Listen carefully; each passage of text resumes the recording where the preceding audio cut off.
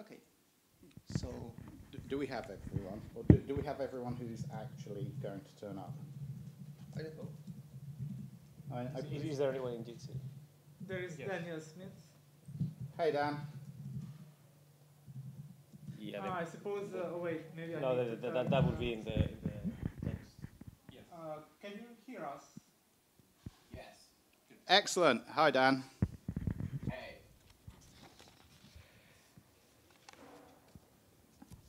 Um, we, we have a. I, I was frankly expecting this to be a more popular session, considering that the other was uh, uh, the, the managers' meeting.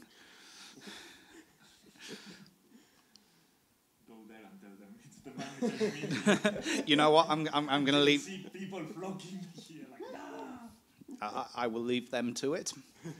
Uh, right. Um, for the benefit of those of you on the bridge, which I guess is only Daniel, we have uh, four representatives from XenServer. We have Marek and we have Julian. Um, does anyone know what we're doing? Oh, I think it was mainly interesting to hear what people are doing with downstream patches on how we can get them. As I remember a discussion from was a year ago about EFI on some of the uh, patch. So EFI specifically has its own separate design session, um, which Yeah, I think th- this is supposed to be Raphael's session, right? Yeah, Raphael unfortunately had a family emergency and can't be here. Um, That's what I thought. So he, he and I were talking about this, and you know, I, I gave him advice to kind of come up with a slide deck that went through all the um, different patch series that you know, specifically the ones that he had, he's having to um, patch in the, for upstreaming into to his distro. So yeah, so he, he's doing the Arch Linux stuff, I believe. yeah, Yes. yeah. And I said we could go, at this point, we could try to collaborate on what Qubes is doing versus what OpenXT is trying to upstream versus the large patch queue even Zen client, or Xen, excuse me, XenServer has. It's shrinking very slowly. Yes, very slowly. Same here. Well, I believe part of the of the point. I believe part of the point of this um, design session was to determine what parts uh, of the patch queues in the different projects were common and potentially upstreamable together. Uh, do we at least have some sort of idea of what those commonalities are? Patches, uh, in Qubes are segregated into few categories. Uh, some are simply backports uh, from uh, newer versions, so those are upstream already. Uh, some are patches that should be uh, submitted upstream, but uh, either were submitted and uh, required some new revision to, I don't know, uh, make it more generic uh, or something like that, or uh, some were simply not submitted at all, but in theory should be should be fine.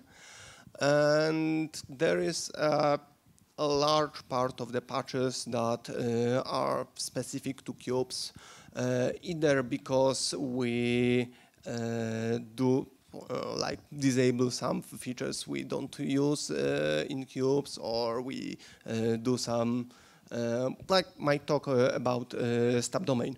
Uh, there are a bunch of stub domain features that are using cube specific features that are not uh, really effing uh, upstream. Uh, so this is probably about uh, I don't know 20, 30 patches of the 60 something I think. um, and yeah, so that's main categories uh, of the patches.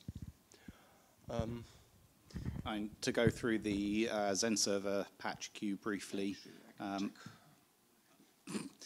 um, the so uh, tho- th- those of you who saw Yakis's presentation actually saw up-to-date numbers of what the XenServer patch queue looks like. Something like seven seven integration patches, 30 bug fixes, and 39 features, or the other way other way around for bug fixes and features. Um, in we have a reasonable number of bug fixes that we have previously tried to upstream and encountered resistance for. some reasons or another. And in some cases, the resistance was more reasonable uh, than maybe in other cases. Uh, the features are, for the most part, stuff that really shouldn't go upstream. Uh, we're pretty good at doing upstream first for most features. Uh,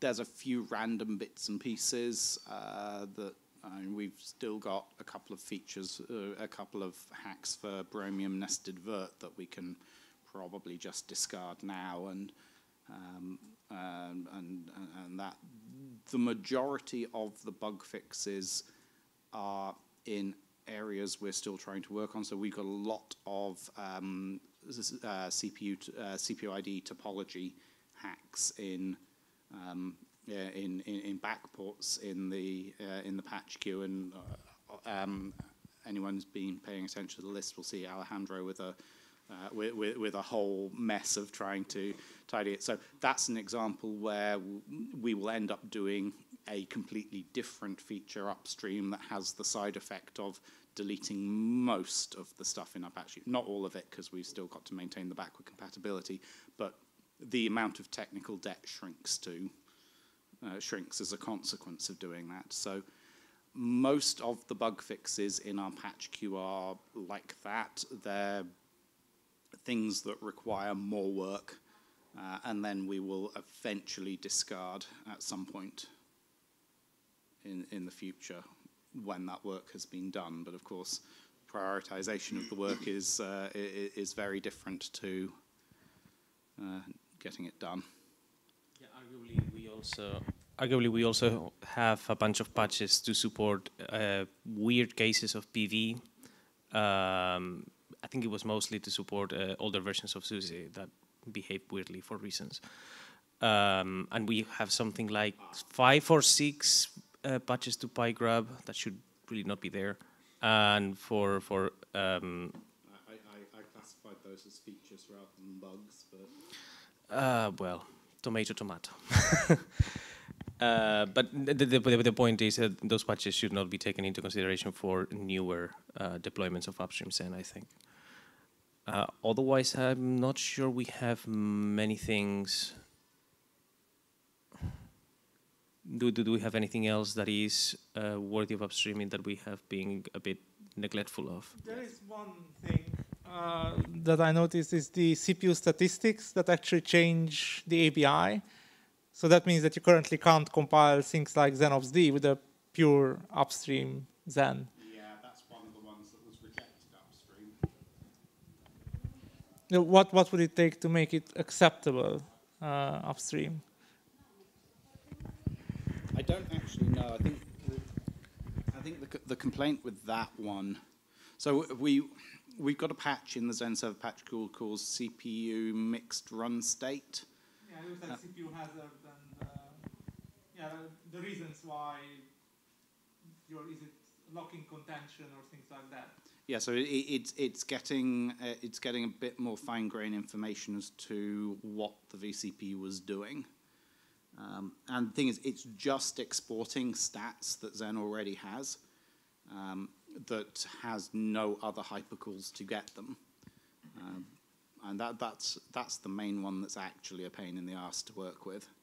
Yeah, but it actually changes the API, right? So that well, it, it, it, adds a new hypercall, it adds new, um, uh, uh, new um, OCaml's um, C bindings. I have the number uh, from Qubes. Uh, so we have uh, 93 patches currently.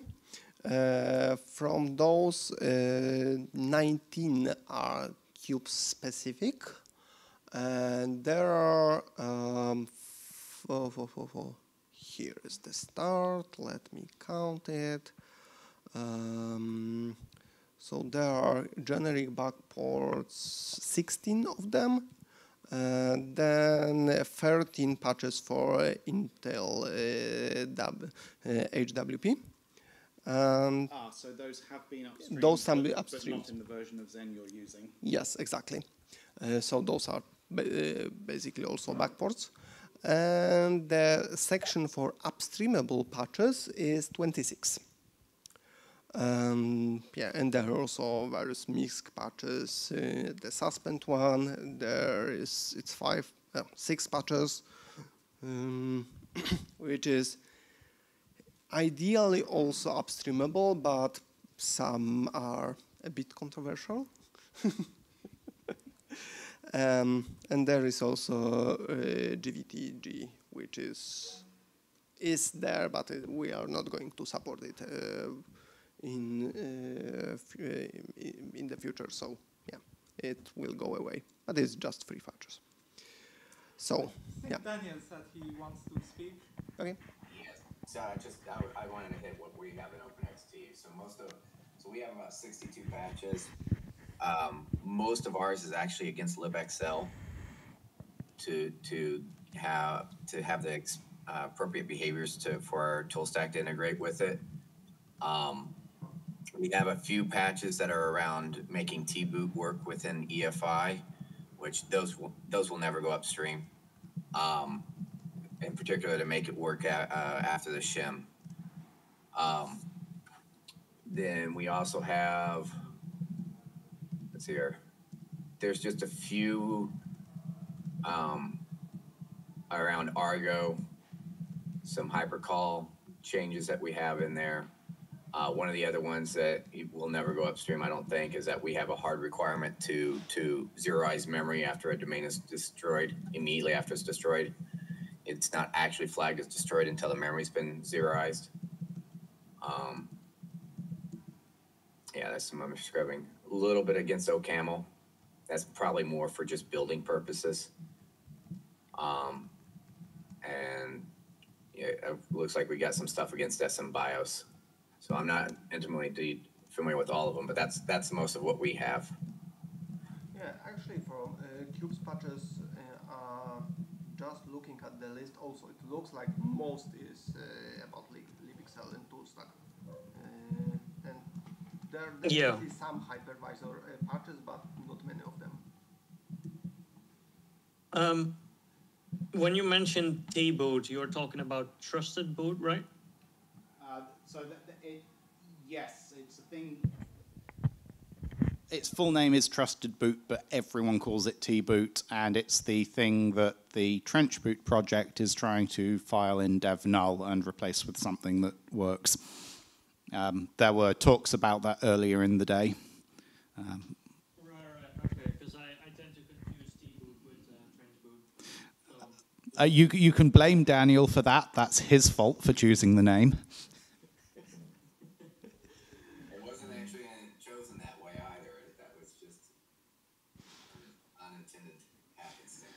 Happenstance. But yeah, d- d- do yourself a favour and don't touch T-Boot at all. It, we're, we're getting rid of it as fast as we can.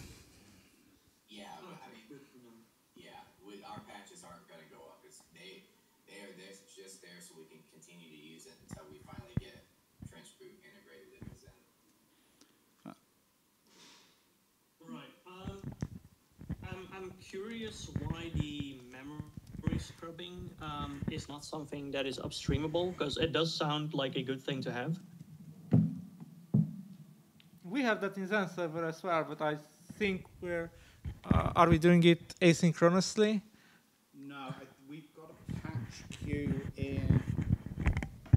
So we've got a patch queue in the XenServer patch queue that says defer memory scrubbing until the APs have been brought up, um, which I can't I can't remember what that was from. Uh, it was it was Sergey who put it in. Uh, basically, so I think it might be the Broadwell L3 cache errata. Basically, there's, um, in theory, microcode loading on one CPU is safe whilst you're doing other stuff, and in practice, it's not. Um, that might be something we need to look into upstreaming. It, it, it, it was done in the middle. Uh, so the point at which that got put into our patch queue was also the point at which we had 60 other patches worth of uh, microcode loading um, that we'd done and shipped to customers, and then upstream had demanded doing it differently. Um, I think that's just an area we haven't been back around to look at. Uh, the so the, there's a specific bug with the L3.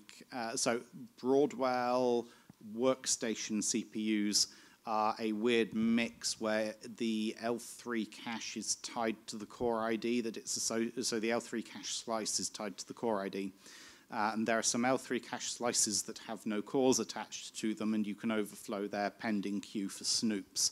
Um, and so if you look in the upstream Intel microcode release, there's, uh, there's a directory called, in, uh, called Intel ucode with caveats, and there's a README in it that says don't, don't late load this. And both Linux and Xen have taken the unofficial workaround of just do a write back invalidate before you do it.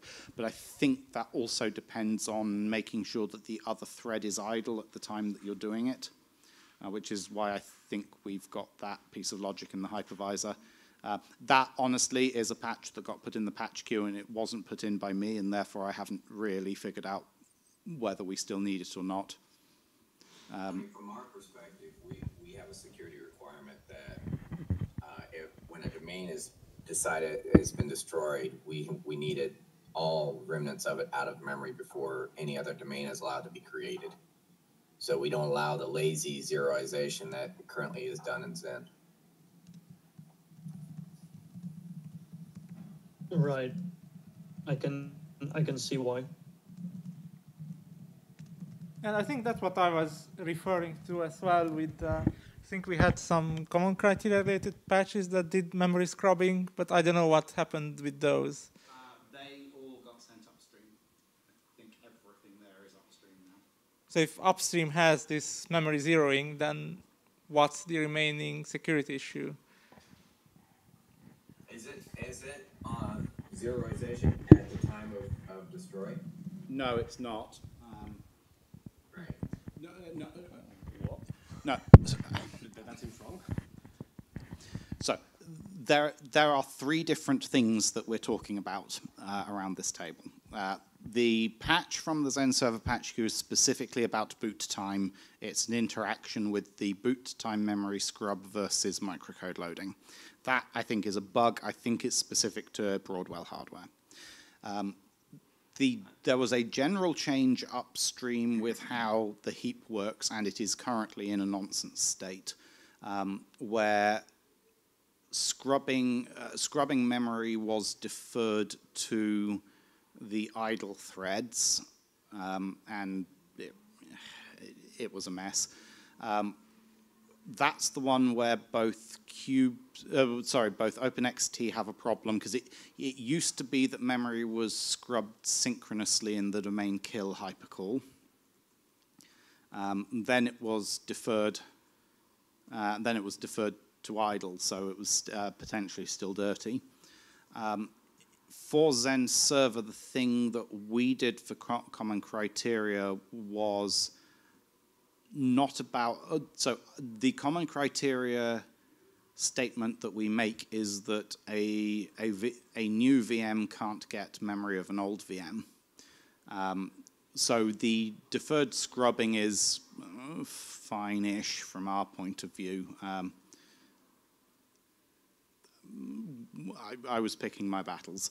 Um, the thing that we do do in XenServer um, that is that we so we ended up upstreaming this, but it's off by default. It's turned on in one of our patches.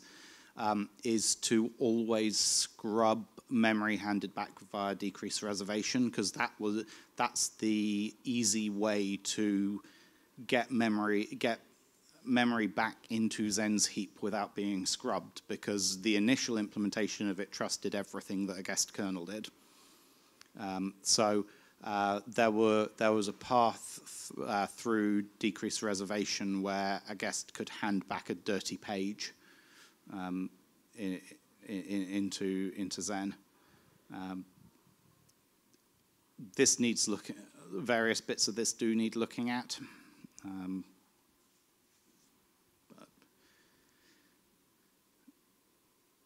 I don't have any good answers. Yeah, I mean, uh, we, we've, we've taken the position that we want them scrubbed, synchronous with and the kill, um, the domain destroyed. I frankly, frankly, we should reinsert that because um, the the plan to make it asynchronous had not been tested. Uh, let's put it that way. Well, regardless, Would, I guess, we'll put it behind a K config, and so that those of us that would want it, do you think that would make it more amenable to upstreaming? Or maybe even command line parameter. Um, uh, I mean, frankly, I was thinking an option to the main kill hypercall, but yeah, sure, command line parameter, something like that. Um, at the end of the day, it's it's a platform-wide decision, and it will be the same for everything. So yeah, command line parameter should be fine. Well, uh, there's also the matter of security, and in general, it is a helpful security posture to state the invariant that if the VM is not running, its VM is not, its memory is not there. If you defer it, you don't really know when that memory has disappeared from the from the actual RAM of the machine, which is annoying at least. Well, you you, you, you can't make that guarantee. No, not not not with the in, increasing um, fun memory technologies that we're getting on the DRAM bus. I mean, we, we can we can say we've zeroed it. We can't guarantee it's not persistent somewhere. Yeah, I mean, we can do the best we can, that- but the, yeah.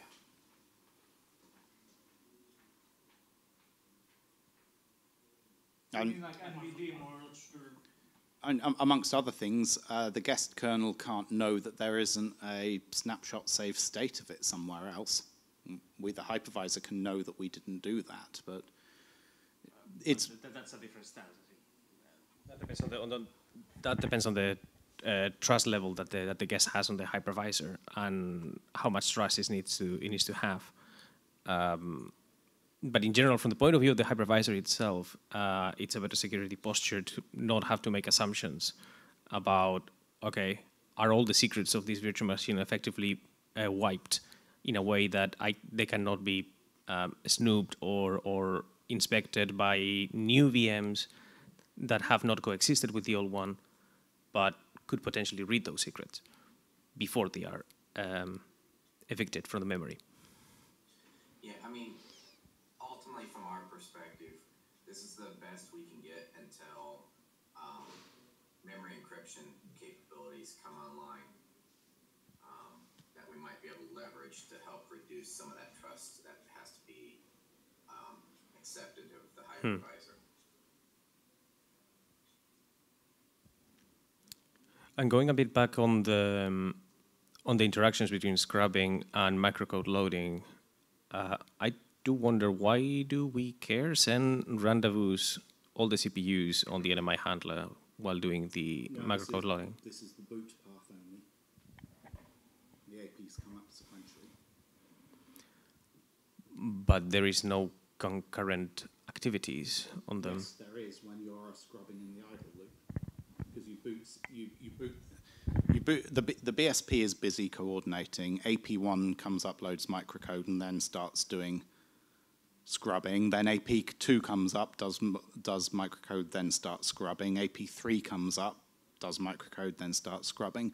And the problem with the Intel uh, the problem with the Broadwell system was that um, you you had uh, you had a set of cores and an L3 cache slice and an L3 cache slice with some lasered out cores above it. Um, so they were sharing Snoop, Snoop queues.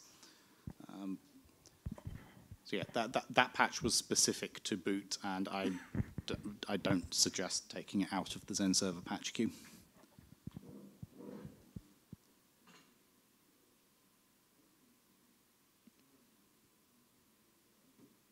Oh, um, there are a few questions on Jitsi chat, if anyone can read those.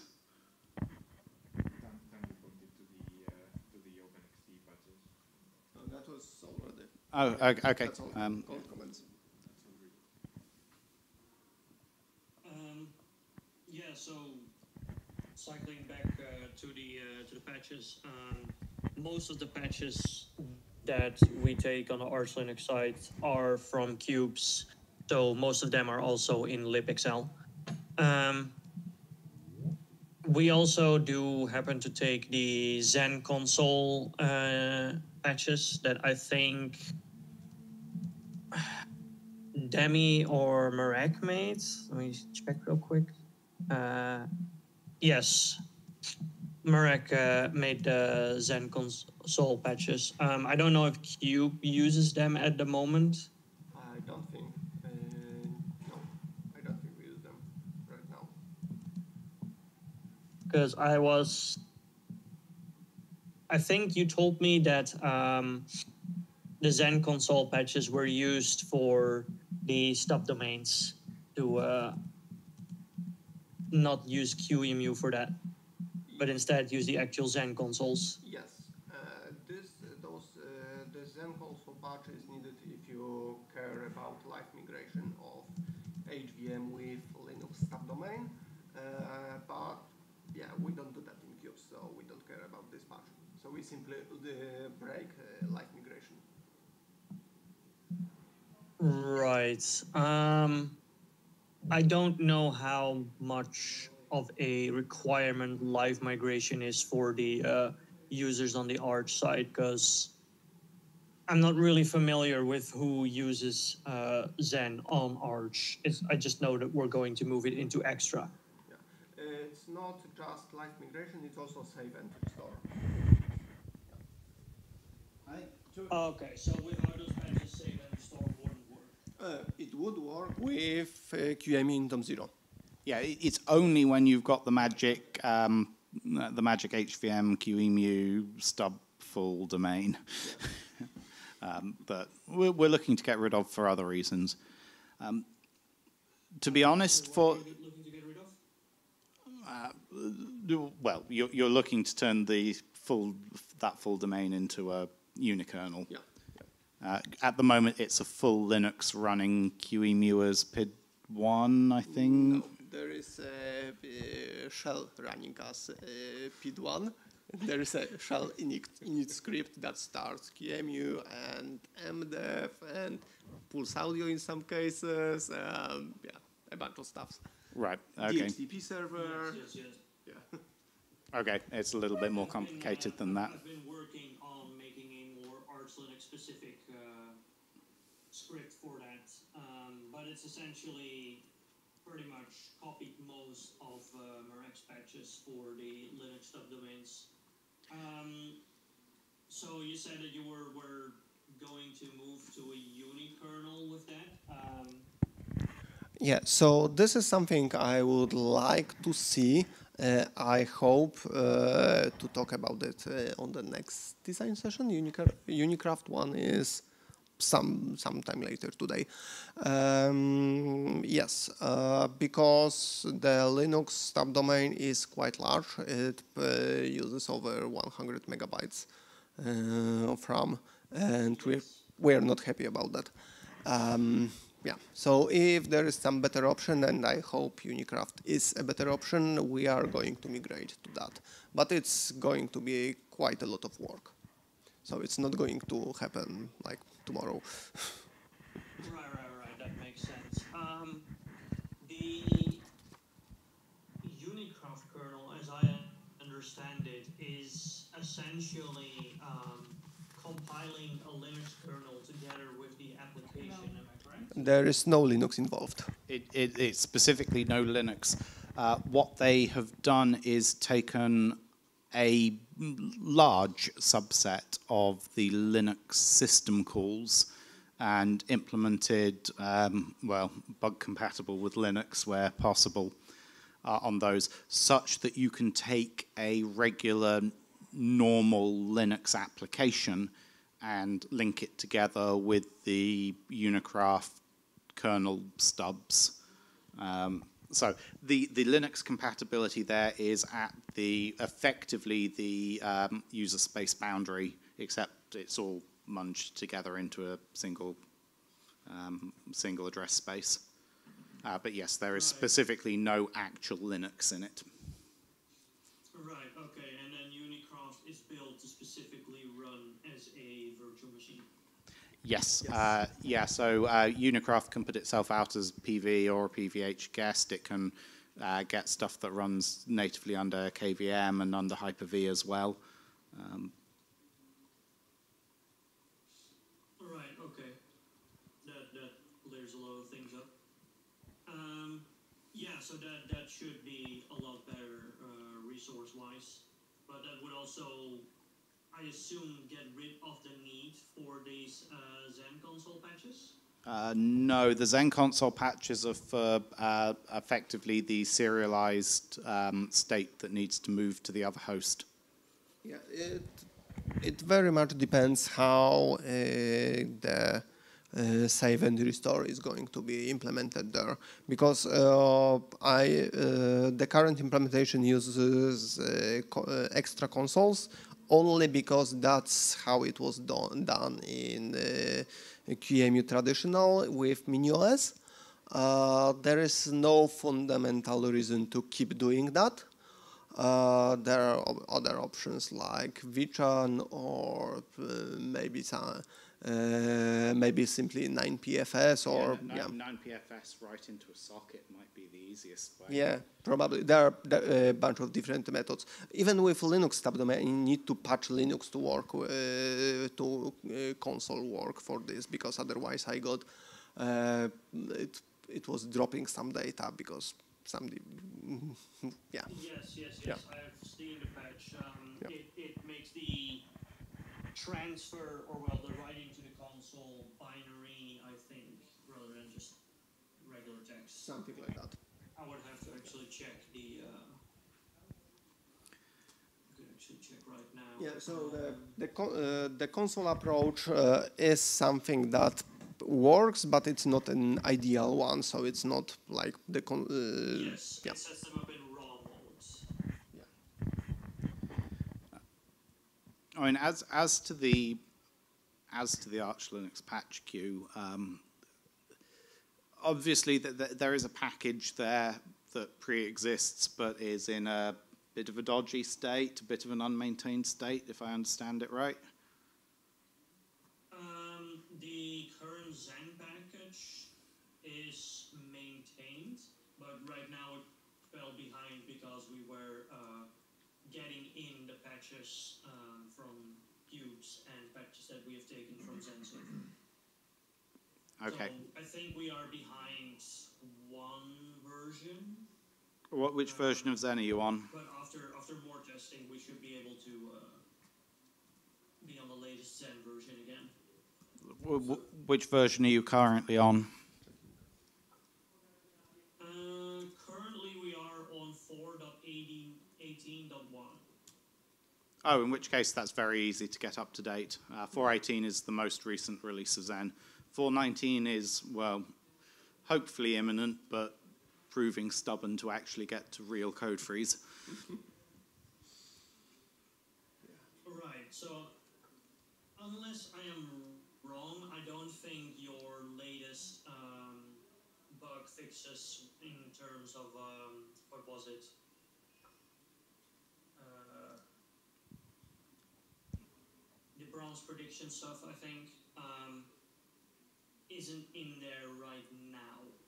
So the minor minor releases on a stable branch, so the 418, and you're on dot one at the moment, but um, uh, moving forward to dot two and dot three should be just a case of update the hash you're you're based on, um, and you ought to do that Uh, we because. are, we are pulling from the Git directly, so our hash is essentially just skip.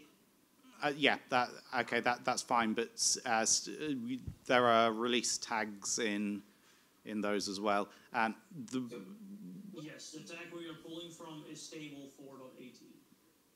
So real, real quick, um, I, it looks like we're about done here in five minutes. uh, yeah, um, we've got five Can I- minutes I'd until we're kicked make out. Suggestion, since it sounds like um, all of us have a lot of libxl patches, could we maybe work on, um, you know, Google spreadsheet something to kind of coordinate what, what are our libxl patches, figure out which ones we have in common, and then try to maybe work collectively to get those up and help reduce all our patch queues?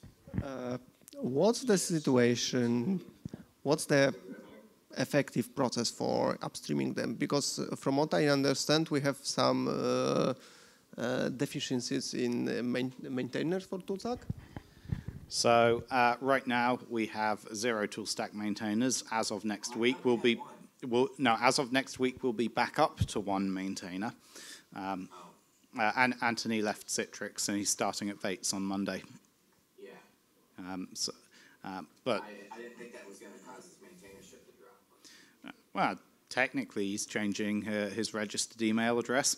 Uh, but he, he's, he's, also been, been out of the office for a month as he's moving from Cambridge back to France. So uh, he's, he's also been um, not contactable for any maintainership related um, things.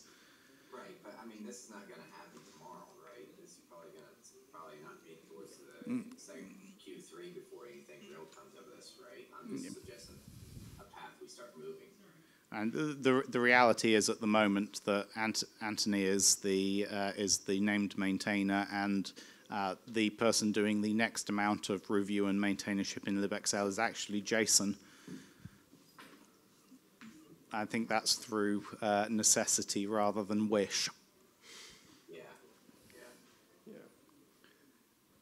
Right, uh, we're probably better start wrapping it up here, seeing as, uh, uh, well, we, we- we were given the warning uh, a short while ago. Um, no, who- Xen safety requirements upstreaming is next. uh, yes, uh, I need to move to the other.